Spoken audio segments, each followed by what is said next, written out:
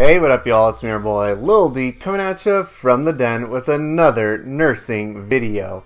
And in today's video, we're going to be talking about what does it take to be a charge nurse and what does that role entail. But before we get into the video, make sure you give this video a like and subscribe. I post nursing related videos two times a week here on this channel on Wednesdays and Sundays. Make sure you hit that notification bell because it really, really helps me out. But yeah, Let's get straight into it. The first thing that we're going to be talking about is what does the role of being a charge nurse entail? So our unit, our nurses start at 7 a.m. and 7 p.m. While the charge nurses start at 6 a.m. and 6 p.m.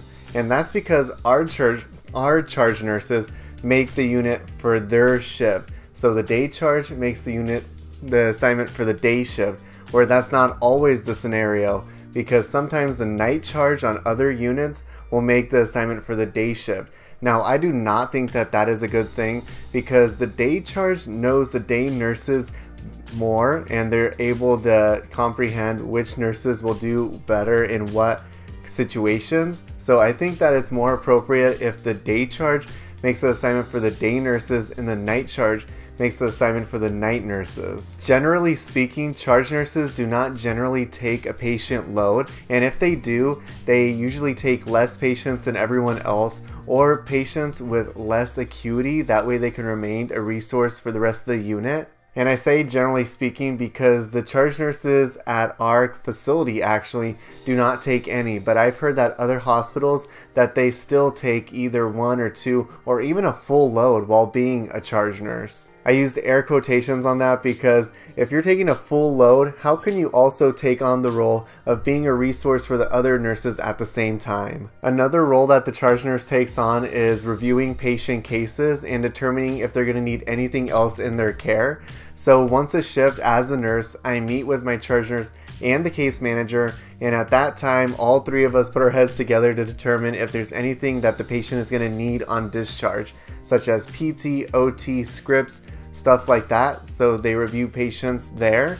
Also, if we're getting a new admit from a different unit, the charge nurse will typically review the case and determine if this is appropriate for our unit or if they maybe should be going to ICU or maybe they could go somewhere a little less critical. So they do review patient cases like that as well. Now the role of staffing is actually taken on by that department completely but the charge will, ge will generally work with them pretty often to talk about how many patients they have, how many nurses they should be bringing on, and if you call out sick, you have to call the charge nurse and you also have to call staffing, but they work pretty close throughout the day. Now, what does it take to be a charge nurse?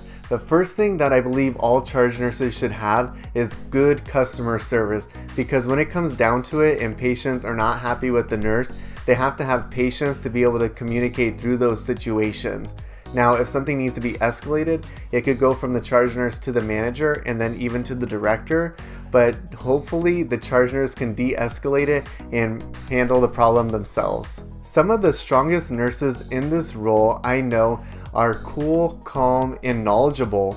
Now, they generally say that you need a bachelor's degree to be a charge nurse, but I believe that you really need a little bit more than that. It really takes a couple years to get the hang of it, and you should have some knowledge under your belt if you're acting as the leader on the unit, where nurses are going to come for come to you for advice throughout the day. And most importantly, like I said, a leader, because isn't that the role of being a charge nurse anyways? Is taking all these things that we have talked about in this video and being able to apply it.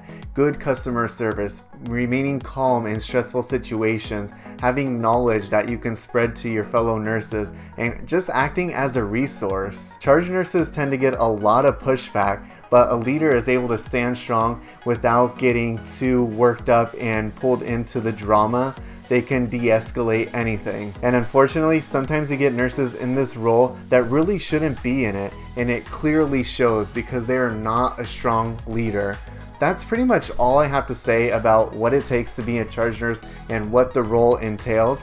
Make sure you check out one of my other nursing related videos here. Please hit that notification bell and yeah, I'll talk to you guys later. Thanks. Bye.